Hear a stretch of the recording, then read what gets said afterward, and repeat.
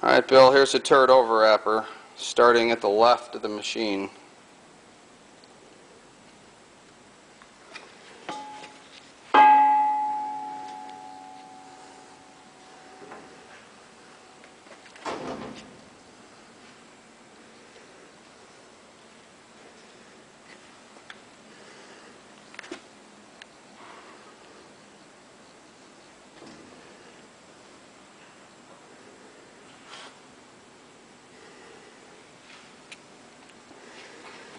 Alright, that's a 712 turret overwrapper.